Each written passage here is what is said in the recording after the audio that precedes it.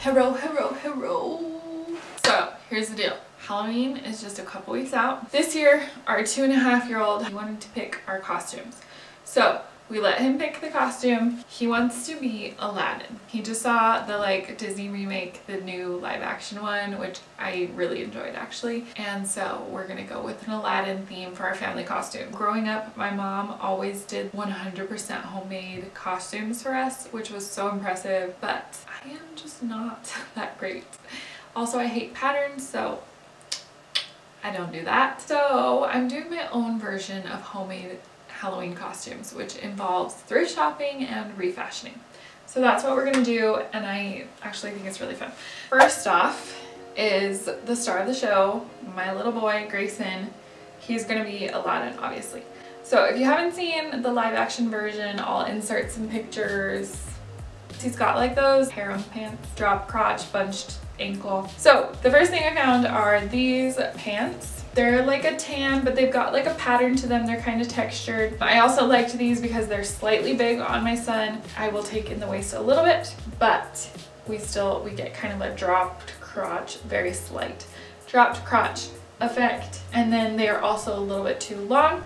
So I'm planning on um, hemming them a little bit, adding elastic um, so that they kind of bunch up and sit a little bit higher. These were $2. Also, if you'll notice in his pictures, he has like a green belt. I picked up this like 20 cent sheet of felt, green felt, that I'll just use. Okay, here we are in the future. Now we're working on these pants.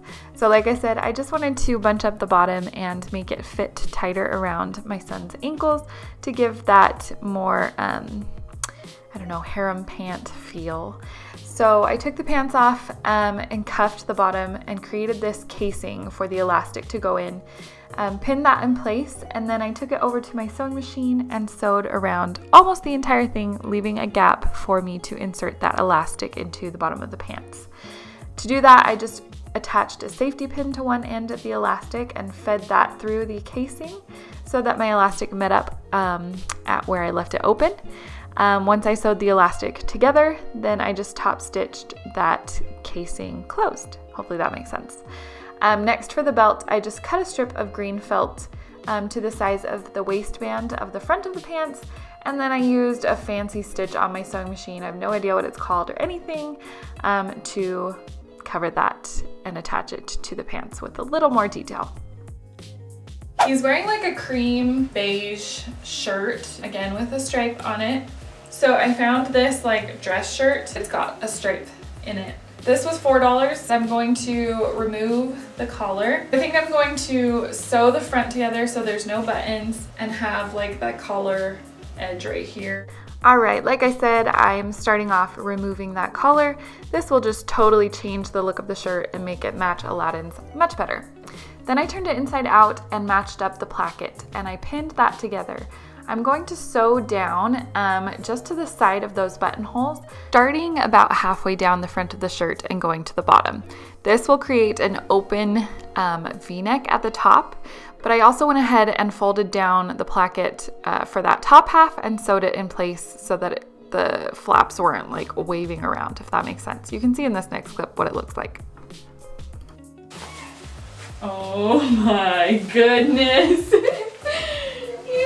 so cute. It doesn't want. Yeah, it's like a Aladdin shirt. The next thing he has is a vest. This is the shirt I found. This is a little more orange red than true red, like Aladdin's, but I feel like it's good. It's got this like trim detail on the front, which really reminded me of Aladdin's vest. My plans for this, remove the collar, I'm gonna remove the, the placket, so I'm probably just gonna fold that over and sew, sew it, um, and then I'll probably shorten it.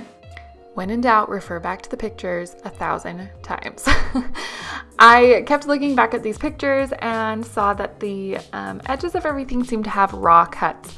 So I went ahead and cut off the sleeves and just planned to do some stitching um, on my machine near the edges, but not actually finishing the edges.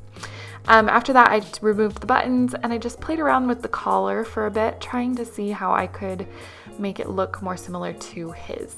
Next, I folded down the placket. I decided to fold it forward. Um, I just liked the look of that better. And I did a small zigzag stitch down, again, just to add some more detail to the top.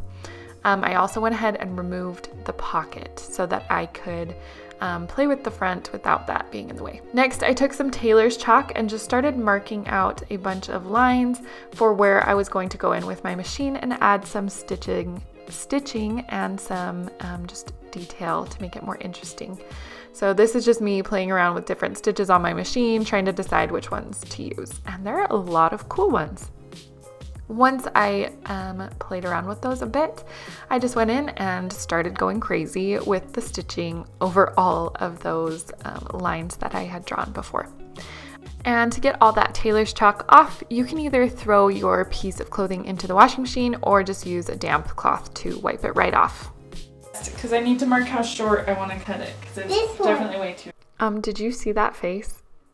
He kills me. We have to watch that again. Because I need to mark how short I want to cut it, because it's This one. definitely way too long. This is a water. Is it like Aladdin? Yeah. He's so cute. I had to keep that in there. Obviously, I'm just cutting the length, shortening it just a bit. So, so far we're up to two, three, seven dollars, oh, seven dollars and twenty cents for my little boy's costume. The other things I need to figure out still are shoes, like a crossbody brown bag, and then I need to figure out the hat. Next up, for my costume, I am planning on being Genie instead of the obvious Jasmine. So here's a picture of actual Genie from the movie. Okay, this is very basic. I got this blue top, just blue, long sleeve. This was $4. And I'm going to pair that with these beautiful blue, oversized sweatpant leggings. They're so ugly, guys, but they're, they're gonna work perfectly for my costume. And I'm also planning on adding elastic to the bottom of these pants and shortening them a bit. And these were $4. And then I need to make a red belt, which I also got felt for. All right, my costume definitely took the least amount of work. I've already shown you um, hemming Grayson's pants and adding elastic. That's exactly what I'm doing here. So no need to tell you about that, really.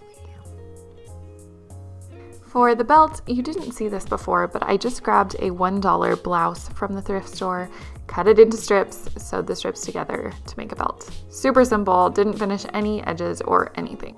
Along with this, I'm planning on doing my hair in a ridiculously high ponytail with a gold scrunchie, big gold chunky necklaces, gold bracelets, blue or gold eyeshadow, and then that's my costume. So my baby is three months old.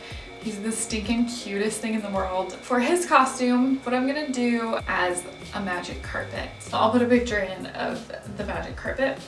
So it's a little bit more purpley than what I found, but I think this is close enough and I really liked it. So what I got is a woman's skirt. It's in this like silky fabric and it's got like a nice sheen to it, a nice texture. Wow, that is a flattering face to stop on. okay, guys, forget about this skirt. Basically, I made his costume round one with this skirt, and I just hated how it turned out. And so I actually went back to the thrift store and bought an entirely different piece of clothing to start all over from scratch.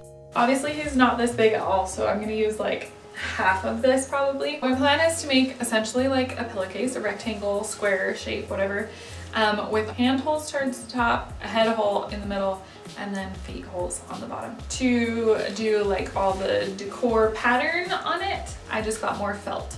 So I picked up several different colors. I will just cut out shapes, lay them out on there, and just do like a quick top stitch on all of those to get the pattern. Ah, here is the second fabric. This is for round two. I picked up this um, little girl's dress in a deep blue velvet fabric, which I actually liked a whole lot more than the original skirt that I grabbed. So in the end, it worked out lots better. So um, I just deconstructed that, got some pieces of fabric to play with. Um, I used like a pair of pajamas of my babies to kind of measure out the shape. Again, I wanted it to be kind of a rectangle that went from his feet up to his neck, out to his wrists. I had to piece together a few pieces to get this. So like I had to have two pieces in the front as you can see. Um, but I just sewed those together, made it a nice rectangle, and then I started placing these felt shapes that I had cut out on top, pinning them down, and then going to the machine and top stitching those down. This was one of my critical errors in the first round. I decided to take a shortcut and use hot glue instead of top stitching and let me tell you, that was a terrible decision. Hot glue guns are not always the answer, people. Learn from my mistake. In case anyone was wondering, this is what it looks like when you've been working on Halloween costumes in the basement all week. Yeah. Okay, once I had all the detail top stitched onto the front of the fabric, I went ahead and put my front and back together. This is the back. Obviously you can see I had to patchwork a few pieces together to get the right shape and size.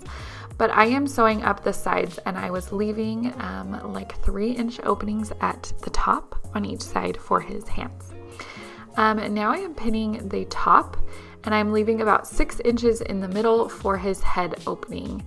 And I also have a slit in the back um, so that it can go over those giant baby noggins. Then I was just finishing the edges and here I decided to add some Velcro at the back to close that up.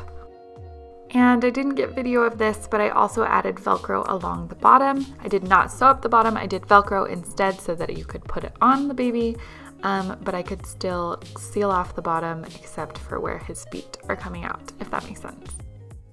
Another error I made in my round one costume was I added a trim around the sides instead of doing the iconic tassels at the corners. What was I thinking? The tassels are just so much cuter and so much more personality, I guess, with the magic carpet. So, anyways, I, second round, learned from my mistake, went ahead and made tassels for the four corners. If you need to learn how to do this, there's tons of tutorials on YouTube you can look up hopefully this all comes together and people can actually tell what we are. I hate on Halloween when you go out and people are like looking you up and down like,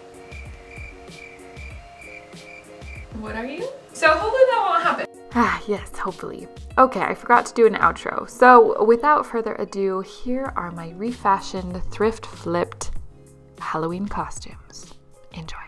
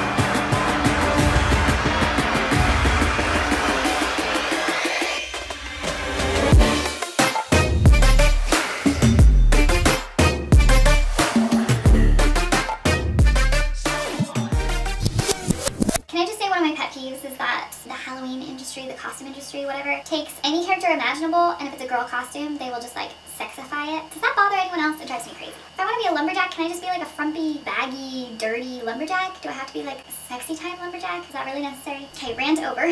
I moved my camera. I don't want to move it. Okay. So cute.